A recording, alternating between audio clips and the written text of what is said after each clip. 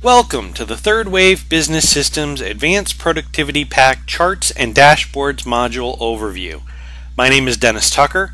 I'm a technical manager at Third Wave, and I'll be providing you with some insight today into the functionality available in this module to create advanced queries which can then be leveraged into a variety of robust charts. APP currently supports over 20 different chart types.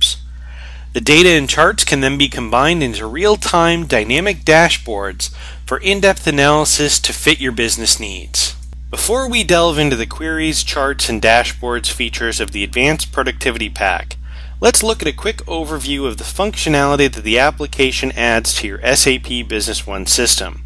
There are three major feature sets in APP, the Customizer module, Document Delivery, and the Charts and Dashboards module. There are other smaller utilities in the application as well, such as the Security Audit Report and B1 Email. Customizer allows you to make physical changes to SAP Business One screens, adding functionality behind new or existing screen objects, adding validations, and setting tab orders. Document Delivery allows you to email, print, or fax any document in Business One, either through the marketing document screen itself or through a batch printing process. The APP Queries, Charts, and Dashboards module provides you with tremendous flexibility and an advanced insight into your data in SAP Business One so that you can slice and dice your information, presenting it in the best way to fit your organization's needs. Let's take a more in-depth look at this functionality. When you create an APP query, which is essentially an SAP Business One query in a more flexible and robust interface, you can utilize the ad hoc analysis features to group, sort, filter, and view data aggregates. You can have the ability to set data refresh intervals for real-time analysis, and while looking at data is great, you also have the capabilities to create visualizations based on the data that will provide you with more insight into the information. APP supports over 20 types of charts, giving you a variety of data presentation options. These queries and charts can then be aggregated onto a dashboard, which then provides you with a comprehensive analysis. To start with the demonstration, I'll load a B1 query into the SAP window. While the data loads, there is relatively very little that you can do with it. There are almost no analytical capabilities. Sure, you can use the golden link to arrows to drill back to a business partner or a marketing document, and using control and double click on a numeric column header will give you the column totals at the bottom. But that's about it. It's very limited. From a display perspective, there are also a lot of unwanted or useless columns of data, like object type or internal number, that are part of the query. They might not be information you want the client to see and can't be removed unless the user is technically proficient enough to edit SQL queries. Now let's take a look at how using an APP query can provide you with functionality to accomplish a lot more. I've used the same query but configured it as an APP query, which I'll show you how to set up in a few minutes. Loading the APP query shows you an entirely different interface with a variety of analytical options. In the query, it was specified that data would be grouped according to the customer group name, which is visually represented here. Each group also has summed up the number of orders per group and the orders total. So you can see that the construction group has 85 orders totaling $555,748.80. Also, the summary information is available in the column footers for each column. Each group of data can be expanded or contracted by clicking on the up and down arrow at the left of the group header title. The APP query interface also supports golden link to arrows for drilling back to information in SAP like business partners or sales order documents.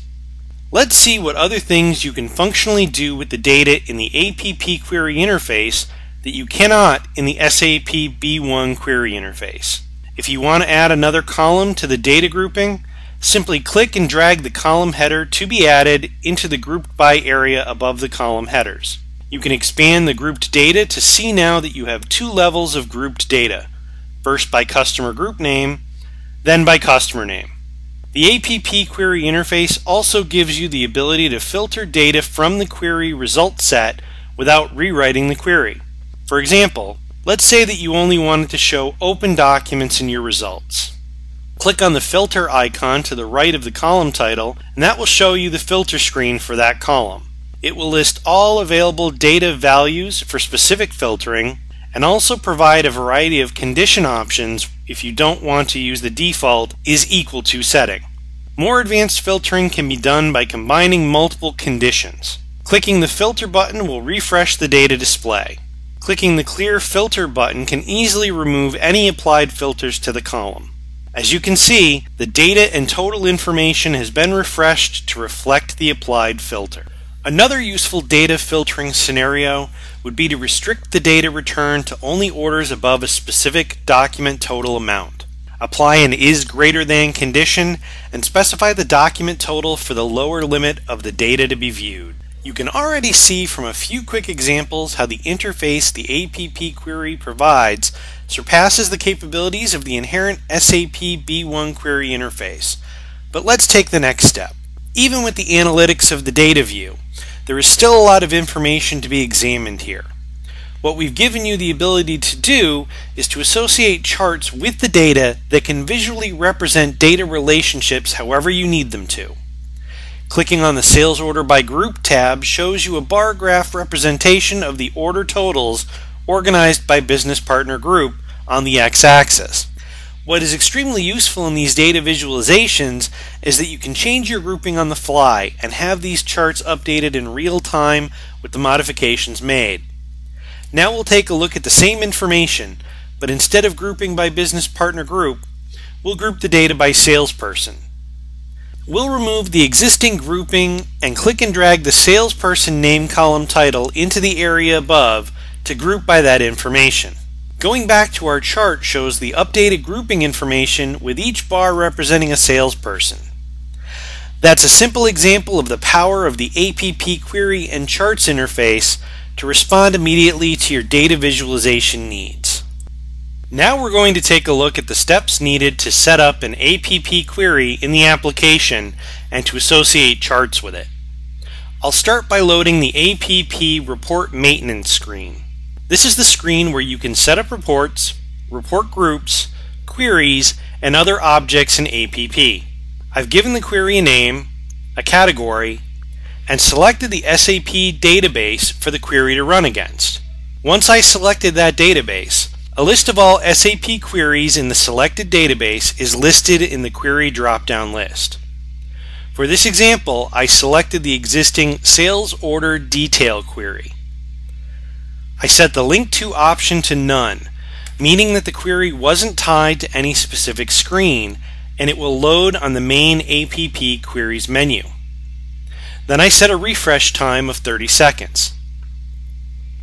The refresh time is optional if you do not want the data to refresh, set the value to 0 seconds. The way that you designate for the query which interface will be loaded is through the option buttons on the right side. Selecting the B1 query option will load the query in the regular SAP B1 query interface. Selecting the APP query option will load the query in the advanced APP query interface. If you've selected the APP query option, the Load Associated Charts checkbox will be activated. Selecting this will load any charts associated with the query when the APP query interface is loaded. The report maintenance screen itself also provides the user with the ability to modify the query display in a non-technical point-and-click way that anyone can easily use. Clicking the Query Preferences button will display a new form with information regarding the query being modified. It will have a line for each field in the query, along with a variety of information regarding the properties of those fields in the query, including if the field is visible, the column title text, if the field is used in grouping, field display order, and if the column should show totals, averages, counts, and maximum values for aggregates. Any changes to the query preferences can be immediately seen by relaunching or refreshing your query data. As you can see, any changes we made in the Query Properties window are now reflected in the APP Query Data view. Columns have changed their order according to the values that we've set, column titles are changed, and any of the other properties that we modified reflect those changes. Now we'll take a look at how easy it is to set up charts against these queries as well. Clicking the Manage Charts button will bring up the Charts Definition screen.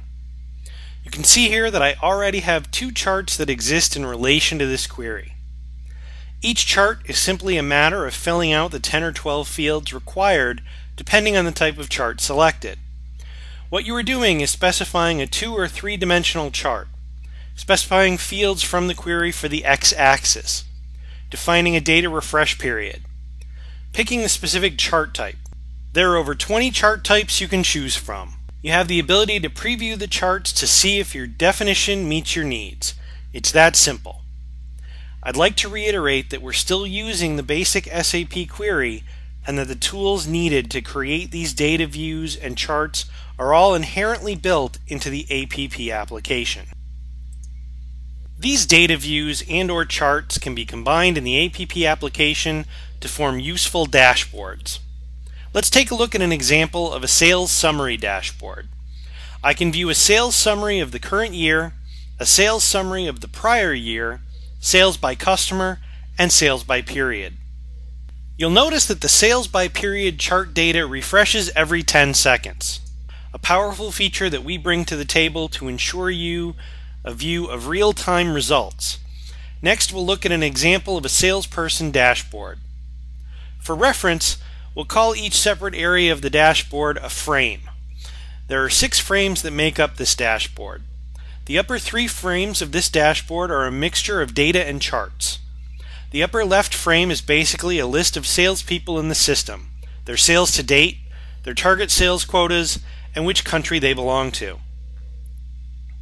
The upper middle frame contains a chart illustrating sales broken down by salesperson while the upper right frame contains a chart illustrating sales broken down by country.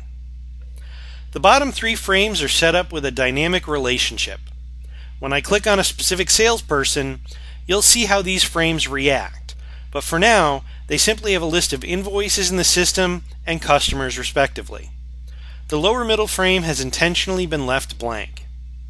I'll click on salesperson Bill Levine and you'll notice that the data in my three lower dynamic frames has changed to reflect the selection of the specific salesperson. The lower data frames on the left and right have been filtered to display only the data for Bill Levine. The lower middle frame, which was blank before, now displays a chart that compares current sales to target sales goals.